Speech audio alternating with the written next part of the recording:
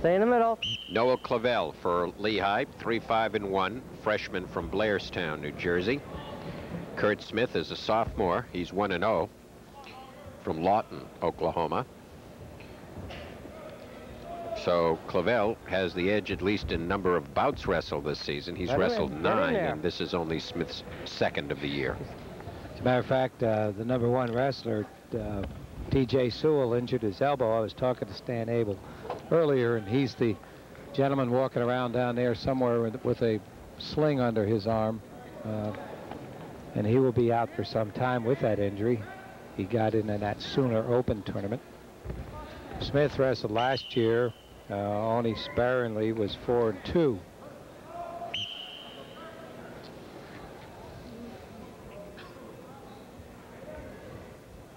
Two takedowns, gentlemen.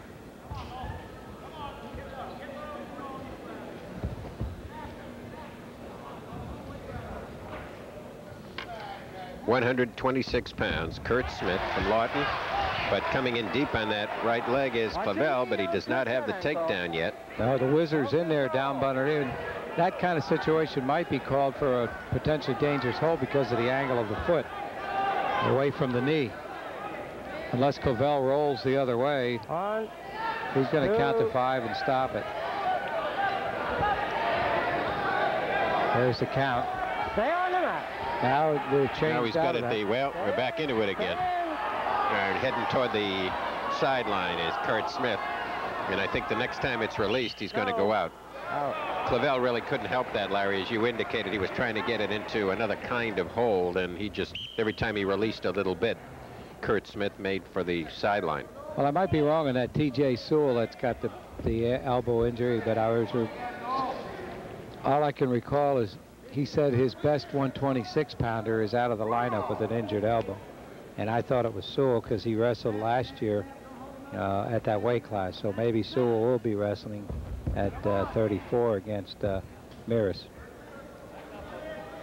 No takedown in that flurry. Center. Stop, stop, stop. We've watched uh, Clavel this year, and we feel he's good on his feet, and uh, moves some, makes some nice moves in the uh, kind of Olympic freestyle moves.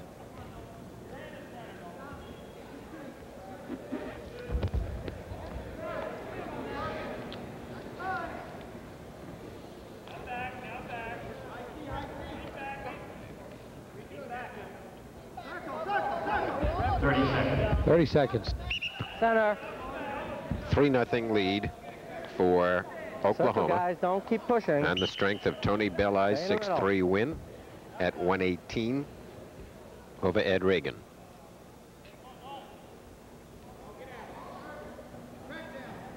Next Lehigh home meet will be against Wisconsin. Monday night.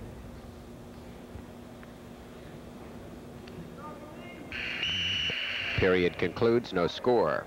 No score after the first period. Choice, son. Top out neutral or defer.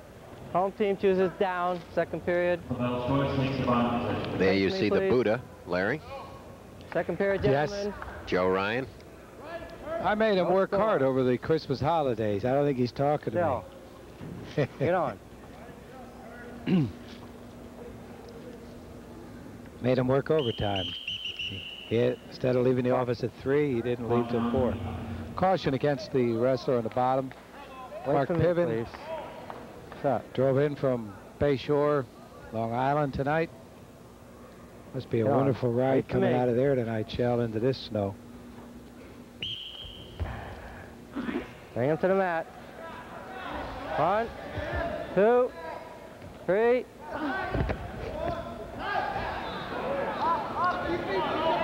Clavel trying to sit out and escape if he can. Not having much success toward the edge of the mat. And over they go with 140 to go in the period. Face me, please.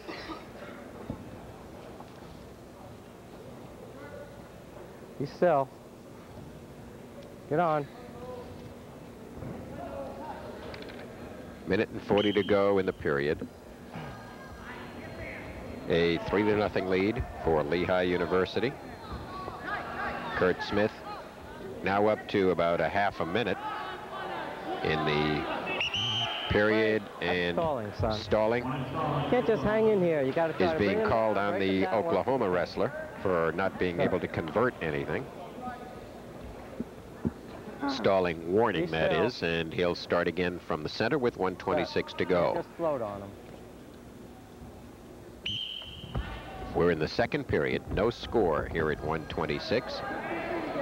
And we got more of the same here as Smith underhooks from the back. Now tries to come over the top, and Clavel having a difficult time trying to get out of all this. And Center. off they go again.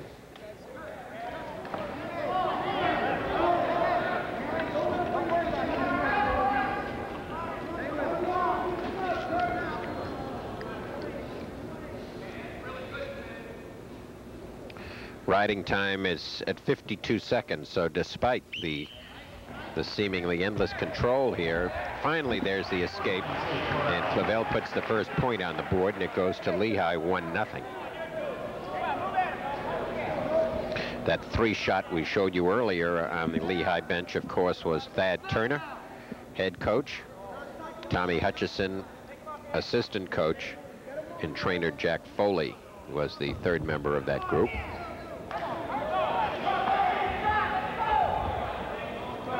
One 0 lead, 35 seconds to go in the second period. Noel Clavel in front. If you get that camera shot again, Shell, uh, as Clavel goes in on a single near the edge of the mat again into that whizzer situation. Got the combination, but as long as that whizzer combination's kept in there, he can't, doesn't have control. Pulls the arm out, has to bring the, now gets the arm out, but there his right foot went over the line. There's Stan Abel, coach, 15th season. On the far end of that bench is a gentleman that we haven't seen, Shell, or he hasn't been introduced since he won his NCAA title, Peter Yaza. Funny, you win the national title and Choice, son. Top, you never see them again when they're seniors, and you don't really have that chance to give them the ovation that they Last uh, period, gentlemen. deserve. It would be nice to introduce Pete uh, later on this year Break or one, sometime to give the fans who cheered him Ready? on for four years uh, on. the opportunity to congratulate him for winning that title. You can't have your foot inside there, son. okay? Third and final period. inside. It's a one to nothing lead for Clavel. He'll take the advantage position, and What's that? Smith will try to escape to tie it up. One point Oklahoma. Caution, Lehigh. I don't know. This is kind of weird, Larry. no. Clavel is way No, up top here. In that standing position, uh, he was lined up incorrectly. He had his left foot past the imaginary line between the knee and the shoulder, the outside edge of the knee and the shoulder. He was all set to throw in the single leg grapevine. But at this time of the year, he already had a caution in the first period. And when the referee stopped him and said, hey, you can't do that. That's a caution, therefore it's a point. Second caution is a point. Incidentally, you can get all the cautions in the world, everything's a point. And now I don't know why he didn't. Well, I guess he didn't. He's now he did. But now you got to wait up. for the combination to break. Otherwise, you keep repeating the two, two, two, two, two, two, two. So when you're out of the combination, then you signal the two. Clavel is leading 3-1. And I, One minute to I can't emph- emphasize enough, Shell, and you and I reminded everybody that the cheapie's gone. Stalemate. You need two seconds to get a near fall. down. Go up. Two seconds of exposure. Not one, Let's go, son. not one and a half, two. 11 seconds riding time is turned around seconds. for the Make moment sure to your Clavel. position. He leads 3 to 1. We have 53 seconds to go as Thad Turner looks on apprehensively as his wrestler tries to upset the Oklahoma wrestler here at 126. Although, as we said, on the basis of the total number of matches wrestled, Clavel has wrestled many more this season. But he's going to have to do something. Mark Piven has been not shown a lot of patience with wrestlers either on the top or the bottom here. Feller at the bottom's not doing much either, Larry. Well, control really rests with the guy on the top for as far as direction. and he's more likely to be picked on than the man on the bottom. Lavelle's now trying to turn a bar combination, but with 13 seconds to go in the third and final period, uh, he'll end up with a point for time advantage, which he just got, and a final score of four to one. So Noel Clavel wins his fourth match of the season. A 4-1 victory over Kurt Smith, who moves to one and one. And with that, Lehigh University has tied the match. Lehigh three and Oklahoma three. Fair choice.